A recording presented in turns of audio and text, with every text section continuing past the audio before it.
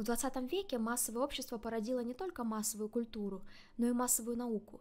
Это значит, что в некотором смысле наука стала отраслью массового производства, основной продукт которого – это научные тексты и научные открытия.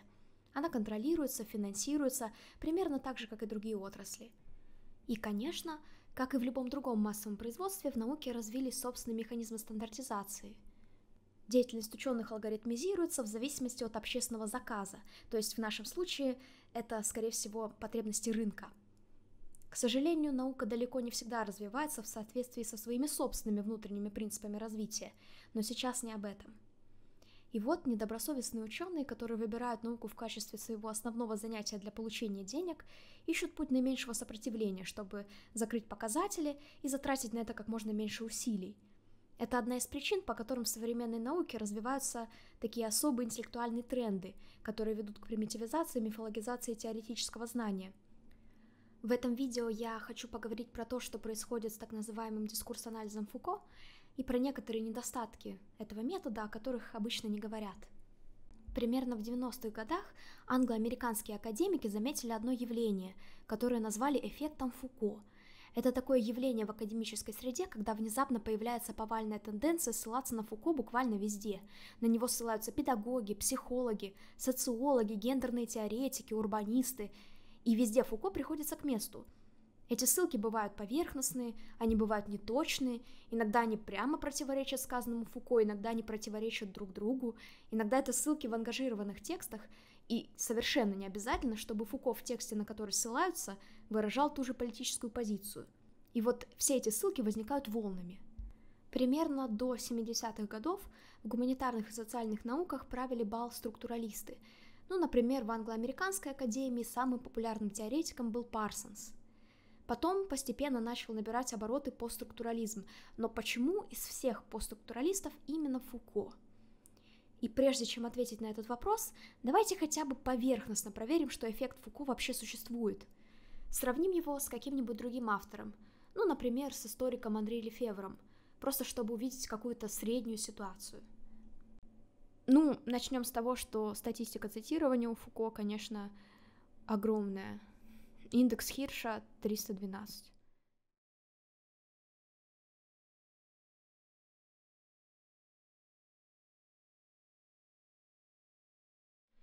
У Андрея Лефевра тоже достаточно большая статистика цитирования, Хирш 109, но, как мы видим, гораздо меньше, чем у Фуко. Это во сколько раз? В семь с половиной раз. Ну, возьмем, допустим, цитаты археологии знания и э, сравним с цитатами вот какой-то работы, которую я, конечно же, не читала — ну вот, например, The Urban Revolution, урбанистическая революция. Первая вот ссылка, естественная история, патобиология и клинические манифестации вируса ковида. Очень интересно. Давайте посмотрим. Причем же здесь Фуко? Социальный дискурс в период пандемии – Значит, э, здесь написано, что Фуко писал о том, что субъективные знания переплетаются со структурой общества самого по себе. И социальная иерархия, убеждения, ценности формируются через дискурс. Ну, говорил ли нечто подобное Фуко, э, нужен ли Фуко для того, чтобы сказать подобную вещь, вопрос открытый. Посмотрим дальше. Вот я нашла очень интересное цитирование про вот э, языковые модели. Ну, предположим, Фуко что-то писал про язык, кажется.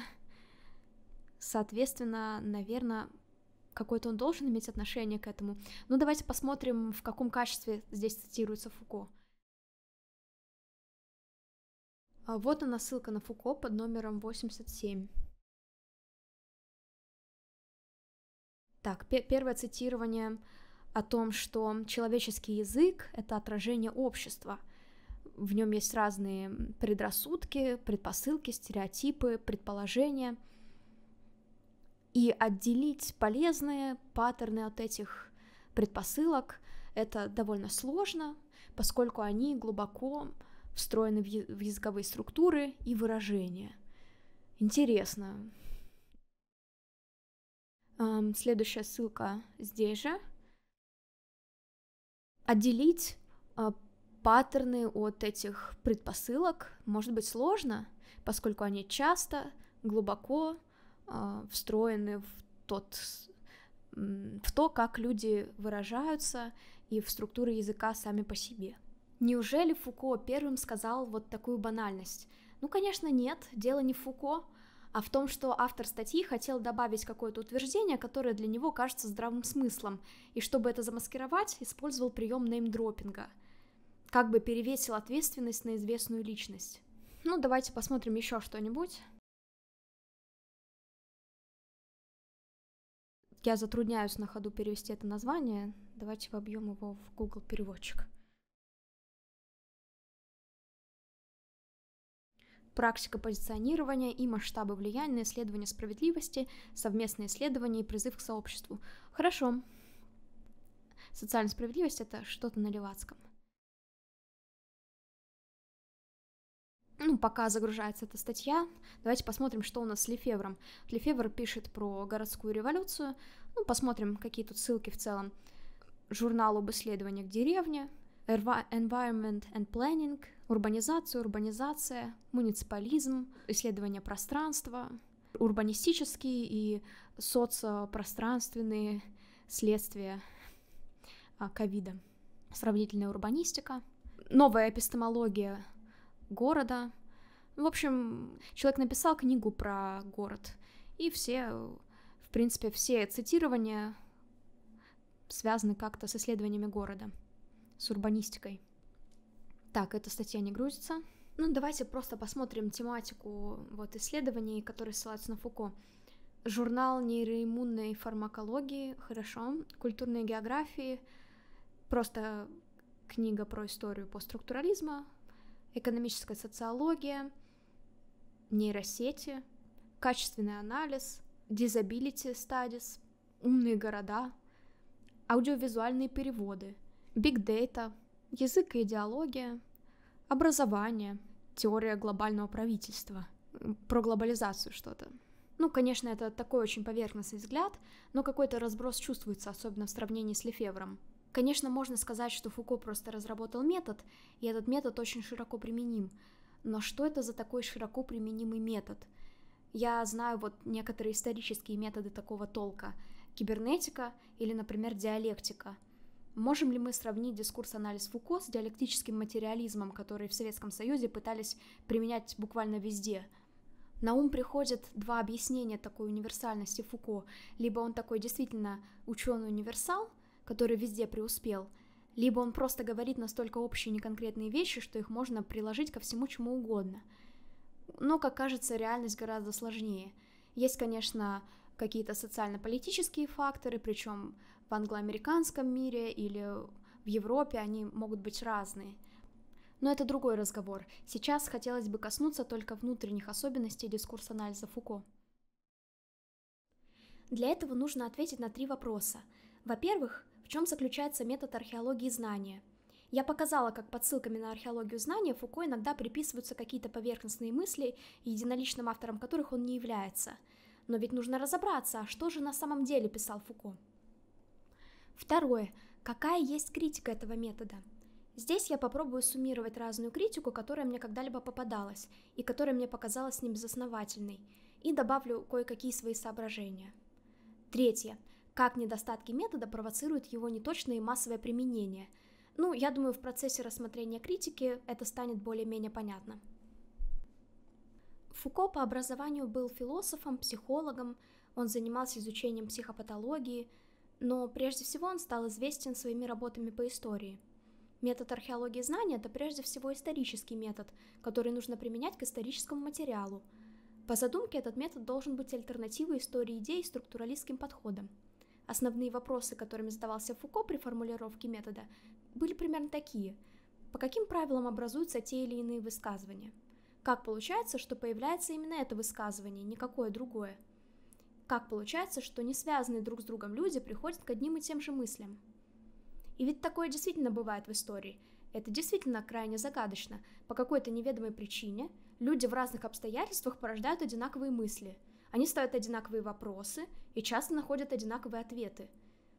Это можно называть банальностью, но в разные исторические периоды эти банальности разные. Можно проследить закономерности в том, как рождаются идеи, можно проследить закономерности в том, как они зависимы от обстоятельств – причем сами люди зачастую этих закономерностей не улавливают. Они могут быть убеждены, что самостоятельно производят идеи, и что эти идеи для них нечто глубоко личное, нечто оригинальное. Почему и как это происходит? Это крайне загадочно. Поначалу Фуко занимался историей медицины и психопатологии. Он изучал разные исторические источники и обращал внимание на то, как возникают, меняются представления о медицине. Эти представления были как-то исторически обусловлены, но непонятно как. Вроде бы менялось определение медицины, менялись представления о патологии, о норме, менялись методы медицины, и к медицине относили различные типы текстов. Но при этом медицина как область как будто бы оставалась чем-то целым, но Фуко не нашел никакого принципа этой целостности, этого единства. Он не смог объяснить себе, почему медицина остается медициной, при том, что в разные моменты разные тексты относят к медицине – и вот к какому выводу пришел Фуко. Он решил, что в разные моменты существовал ограниченный небольшой набор высказываний, которые можно было внутри медицины сделать. Этот набор не зависит от конкретных материальных воплощений, то есть можно написать много разных текстов, которые вроде как о разном, они различаются, но выражать они будут одно и то же высказывание. И вот набор таких возможных высказываний Фуко назвал дискурсом, в данном случае это медицинский дискурс. Понятие высказывания у Фуко отличается от понятия высказывания в лингвистике. Это не предложение и не какая-то логическая форма, это вообще не лингвистическая сущность. Для Фуко высказывание — это функция, которая действует на лингвистическую систему и выбирает из нее означающие, которые выстраивает в последовательности. То есть, изучая дискурс, мы изучаем не какие-то лингвистические сущности, а события высказываний или даже действия высказываний — то есть, еще раз, дискурс по Фуко выглядит примерно вот так. Есть какая-то лингвистическая система, в ней есть знаки, какой-то синтаксис, и на эту лингвистическую систему действует функция высказывания. Функция высказывания выбирает знаки из этой системы и располагает их в последовательности.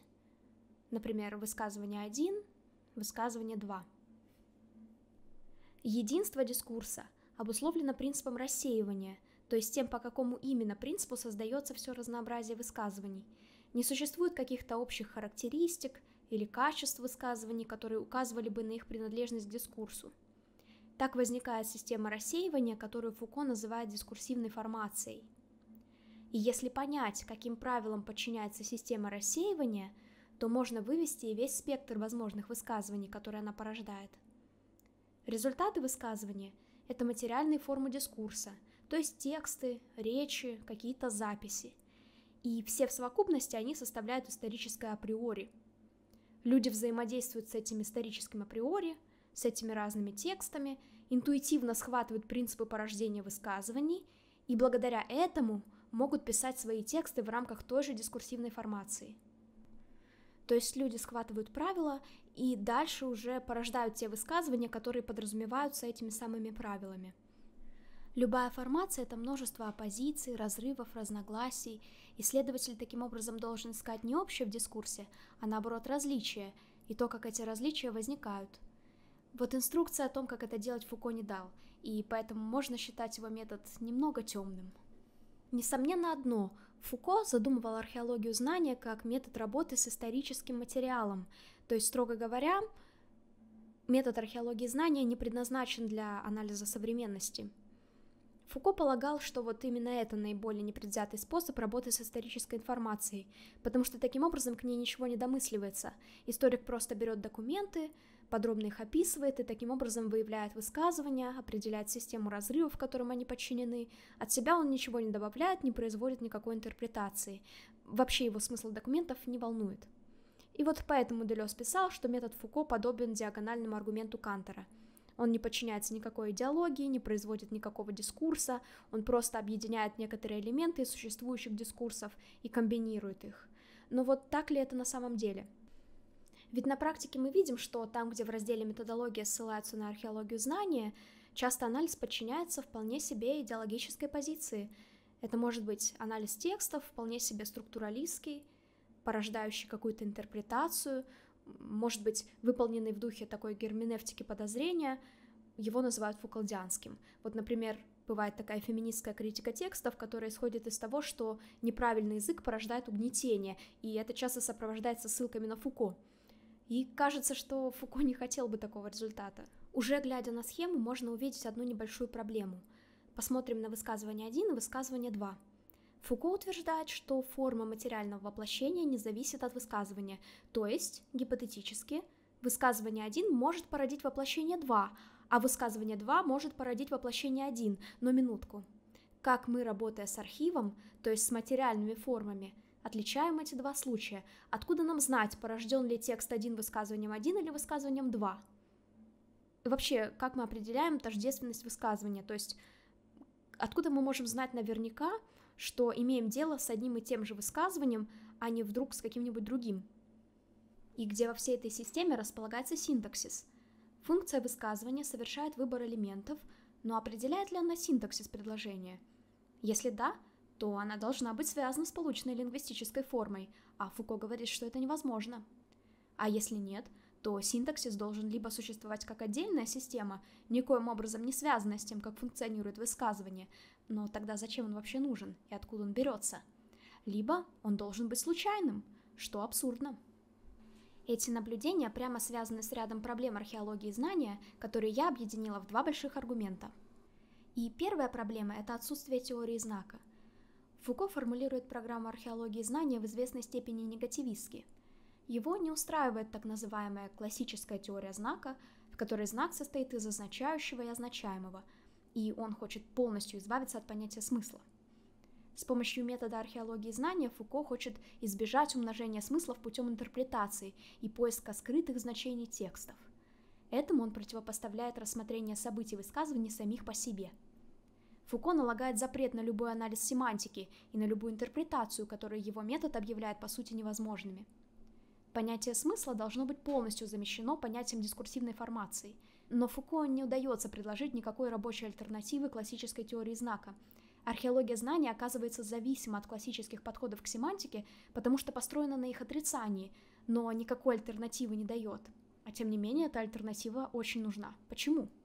Высказывание действует на знаки, формируя их в серии и таким образом вовлекая в дискурс, то есть семиотические системы и знаки являются материалом для высказываний – Существует четыре вида отношений, в которые знаки вступают, становясь высказыванием.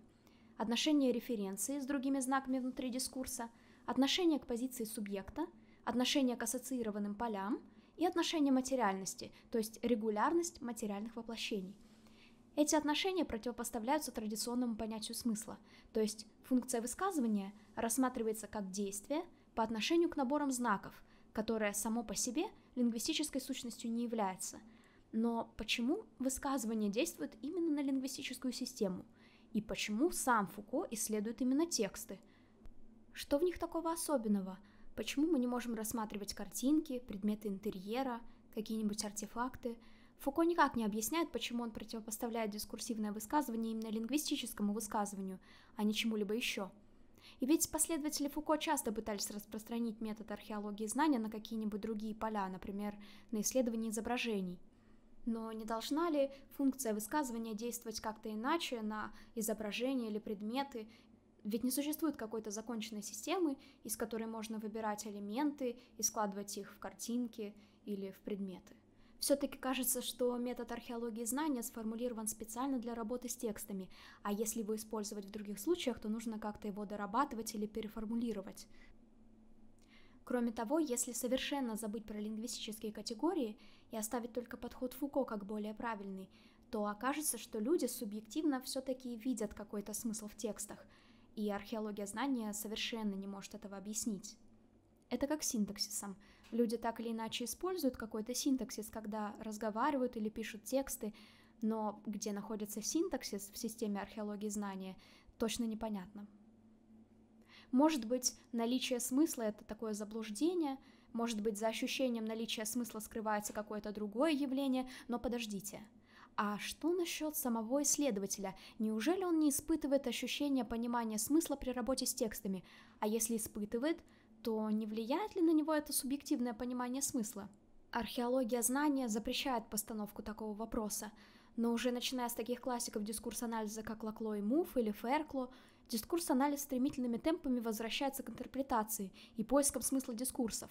Почему-то избежать интерпретации оказывается очень сложно – может ли исследователь вообще избежать интерпретации? Ведь чтобы идентифицировать дискурс и начать его анализировать, он сначала должен понять смысл прочитанных текстов и акцентировать внимание на каких-то их особенностях, то есть совершить выбор. От этого выбора зависит, какие высказывания исследователь выделит как дискурсивные. И вот тут возникает еще одно тонкое место метода археологии знания. Вторая проблема – это функция выбора. По какому принципу осуществляется выбор элементов дискурса – ну, например, про диагональный аргумент Кантера мы знаем, что новая строка появляется из элементов, выбранных по диагонали, а вот Фуко метод выбора элементов не уточняет. И на практике исследователь находит дискурсы там, где ему хочется. Он ориентируется на то, как сам понимает их смысл, но он не может отрефлексировать этот процесс. Причем метод дискурс-анализа позиционируется как непредвзятый, то есть если при выборе дискурса вы опираетесь на эффект, на предрассудки, на свои политические взгляды, то это оказывается скрыто за авторитетом метода, и тогда ангажированность вполне может выглядеть как объективность. Фуко сам писал, что лакуны дискурса указывают на идеологические функции дискурса, и при этом сам заложил такую лакуну в собственный метод. Благодаря ей метод теперь отлично служит задачам производства идеологии. Как мы видим на практике, это могут быть разные идеологии. Сам Фуко в более поздних работах, например, в лекции «Порядок дискурса», он все-таки специфицировал свой метод выбора. Он сказал, что выбирает дискурсы, исходя из отношений власти, которые в них прослеживаются. Он анализирует методы контроля и ограничения свободы, заложенные внутри дискурсов. Но не полагается ли теперь Фуко на предпосылки о том, что существует некая свобода высказывания, которая ограничивается, что существует антагонист свободы насилия, и что с насилием и властью надо бороться просто по факту того, что в его представлении насилие и власть являются злом – в выборе и анализе дискурсов Фуко получается полагаться на дихотомии, такие как насилие, свобода, горизонтальность, вертикальность, структура, деконструкция, единственность, множественность. То есть его высказывание, согласно его же собственным взглядам, подчиняется дискурсивной формации, организованной вокруг этих бинарных оппозиций. Происхождение этой формации оставим за скобками. Это значит, что Фуко сам производит идеологический дискурс, и что существует дискурсивная формация – ассоциированная с методом дискурс-анализа, который производит все эти теоретические тексты, что на практике и наблюдается. Само по себе это не хорошо и не плохо. Это плохо с точки зрения Фуко, который не хотел производить идеологического дискурса. Дискурсивная формация продолжает существовать за счет того, что воспроизводит характерную для нее систему различий – Тексты, произведенные как бы с применением дискурс-анализа, замыкаются в собственной традиции и начинают служить не столько приросту эмпирического знания, сколько поддержанию этой традиции. То есть авторам важно в очередной раз утвердить заложенные в методе структурные дихотомии, а не непредвзято исследовать явления. Вопреки желанию самого Фуко, дискурс-анализ превращается в самый настоящий догматизм.